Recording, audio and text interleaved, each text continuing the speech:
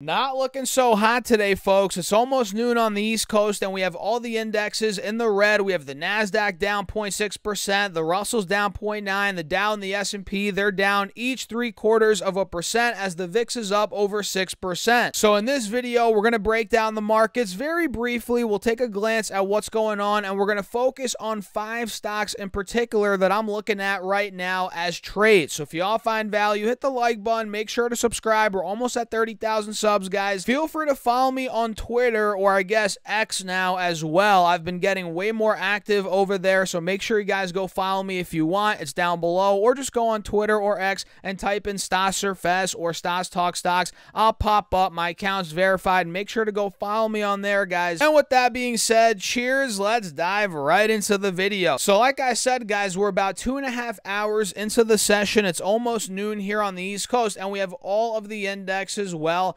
continuing the selling that they've been seeing. You guys can see if I pull up this 20 day chart or even the 10 day chart, actually, uh, the 20 day, it's been selling off more than just 10 days now. We can see SPY's been selling off all of August, and now we're pretty much right smack dab in the middle of August. Uh, it's the 15th right now. So SPY's been selling off all month, and actually, the sell off started in the end of last month. Same thing here, I believe, uh, with Triple Q. Let me see here. Yeah, this started selling selling off actually uh, before SPY did. This was selling off from the middle of July. You guys can see it's pretty much been a month straight now of selling on Triple Q. And with today's 0.5% red day so far, it is now down 5.5% from the recent highs as SPY is down. Let's see here from the recent highs. Let me see here, guys, about uh, 460 to where we are now, 444. We are down about 3.2% uh, from recent highs, and it looks like we're not showing any sign of a reversal to the upside quite yet.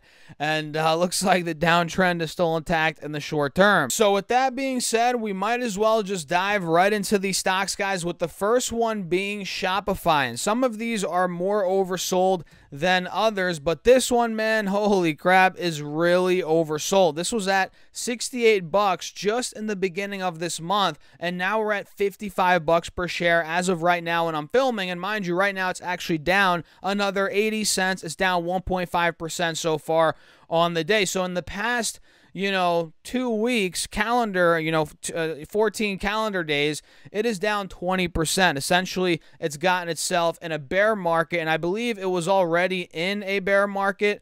Uh, let me double check though. Uh, let's pull it up here on the four hour. Yeah, I think it was already in a bear market because the all time high is way higher. Yeah, way higher than where we are now. It's at 176. So it was already in a bear market and it's gotten itself in another one over the past uh, two weeks. So we can see here Shopify is very oversold, and we're arguably seeing. Look down here at the uh, RSI guys. We have an uh, what's what's that called? I'm blanking. A bullish divergence forming slowly on Shopify here. Arguably, um, you know, we just have to wait and see if the candles end up following. We have the RSI starting to break. Uh, but this, it's been flat pretty much the past couple of days in the mid 50s. And mind you, we're still under the moving averages on the four hour chart. We have a death cross, and we're at the bottom of this channel as well, as you guys can see. Uh, so, in my opinion, this, although yes, it's down 20% plus recently, it's getting destroyed.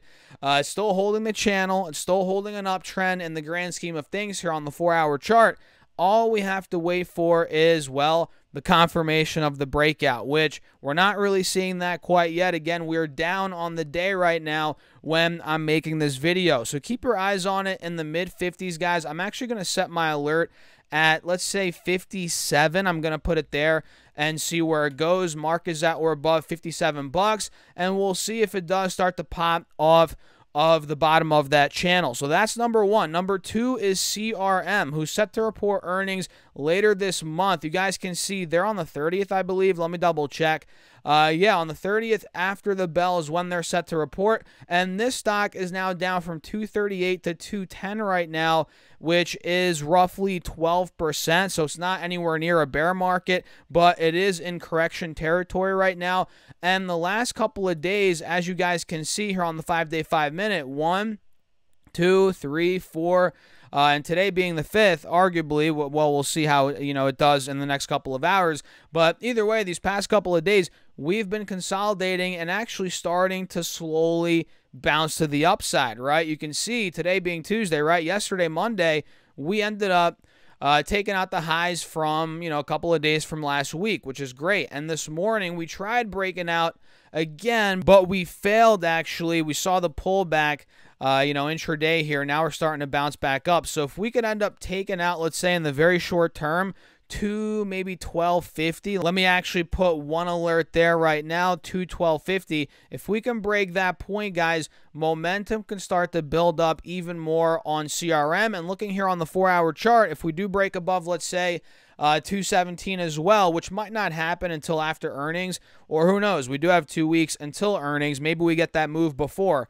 Uh, but if we do break 217.50, which is the 180 SMA on the four hour chart here, that could be a spot where you know, we start to take off again, maybe to the top of this channel as this, along with Shopify, like I said, Shopify's holding trend. This is also holding an uptrend in the grand scheme of things. As you guys can see, it's just a little bit more oversold.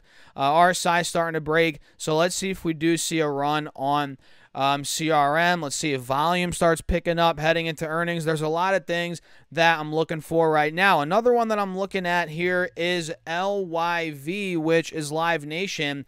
Uh, this is down from 100 bucks recently to about what 87 now. Looks like they reported earnings, which I forget what they reported. Did we even cover them on this channel. I'm not even sure, uh, but we can look at them now. Looks like they did EPS of a dollar two versus 63 cents, so they beat on that by a long shot, 40 cents, guys, and they beat on sales, 5.63 billion dollars versus 4.95 billion expected. So they crushed EPS, crushed on revenue.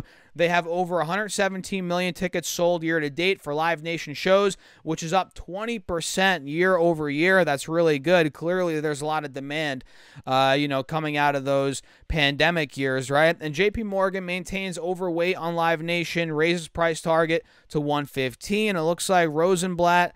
Uh, just price target to 115 maintains buy rating. Oppenheimer outperform rating.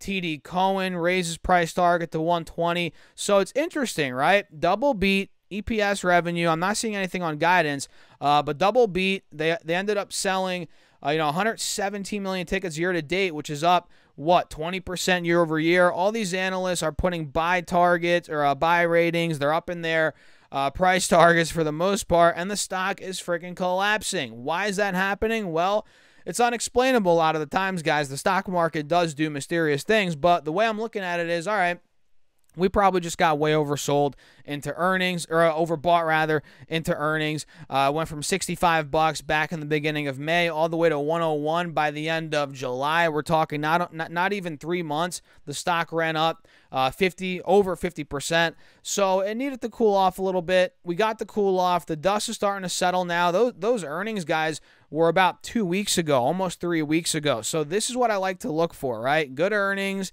a pullback, the dust to settle, and look for a re-entry point. Well, not a re-entry point because I wasn't in this, but an entry point, or at least that's kind of uh, what I'm doing, right? The earnings came out pretty good. Dust is settling. We're consolidating. The stock's actually up on the day right now, 1.4%. We're just waiting for the full breakout, or at least that's what I'm doing, guys, which will be anywhere above, I'd say, uh, 90 bucks. If this could break 90 bucks, I think a reversal to the upside, a hard, you know, strong reversal could be in the card. So what do you guys think? Let me know your thoughts in the comments on Live Nation. And by the way, have you gotten your free stocks yet from Moomoo? If not, use that link down below. The clock is ticking, guys. Once you open up your account and fund it with at least a hundred bucks, you get five stocks, each up to two thousand dollars right off the bat. And listen to this, guys. Once you fund your account at least a thousand dollars, you get ten more stocks, totaling fifteen stocks again, each up to $2,000. And it gets even better on top of those 15 stocks. If you want to fund your account at least $5,000 for a limited time, you also get a free share of either Tesla stock, which right now I think is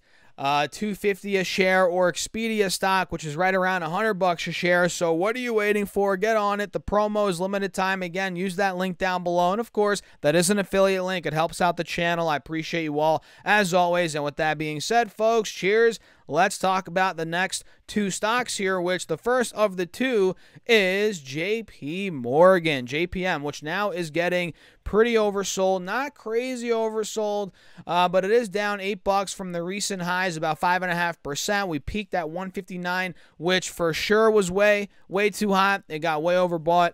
Uh, now we're starting to cool off again. And notice we had this triangle that we called out, by the way, not to toot my own horn, uh, but we called that out. We had that triangle play out, and that's when we saw that run to 160 pretty much. And now we're starting to cool off back towards uh, the resistance of that triangle, which was anywhere from 145 to 146. Uh, and to be honest, guys, I'm looking to see if buyers do come in or or if we just get consolidation around 145, 150. Uh, you know, right around that that that high, which was a high on JP Morgan all year pretty much up until the middle of July, which was just a month ago. Uh, so if we do get a you know a pullback even further uh, to 145, 148. I'm going to be looking very closely at JP Morgan uh, as a swing trade, even here at the 180 SMA at 150 bucks. It's uh, it's looking pretty decent, guys. And the last one for the video, folks. And by the way, if you stuck till the end, I appreciate you all as always. You're awesome. This is one that is not really showing any consolidation or reversal quite yet. Kind of similar uh, to JP Morgan, but it's very beaten down. Airbnb is now down $25 and it hasn't seen a green day uh, maybe maybe one green day in the past what two weeks uh, which is nothing it's down 15% from 155 now to 130 and we are under the moving averages here which is something worth noting uh, but still, overall, in the grand scheme of things, I know this is going to look pretty ugly, but you know we're still holding overall trend, right? You guys see that on the four-hour chart. So I'm thinking a reversal could be in store. We're not seeing it yet. It's, it's down on the day. Keep that in mind, guys. Uh, but a reversal could be seen, in my opinion, if this gets to 125. 128 heck even here at 130 guys it is possible so airbnb is getting very beaten down it's uh, it's oversold for sure and i'm just waiting patiently for that confirmation and uh, we'll see where it goes from there. So with that being said, folks, I'm going to wrap up the video. If you enjoyed it, hit the like button, make sure to subscribe, and to check out my Patreon. If you guys want to see me build out my private Patreon portfolio, you get access to all the moves in that portfolio every single week, how it's doing, full transparency, the buys, the sells, what I'm holding, the percentages, all that good stuff. If you want to be a part of that portfolio and the Patreon in general with all the other perks that it has, it's a pretty good deal, in my opinion opinion at least. I don't know. What do you guys think? Check it out. Link down below. And uh, yeah, with that being said, I'll see you in the next one. Peace out.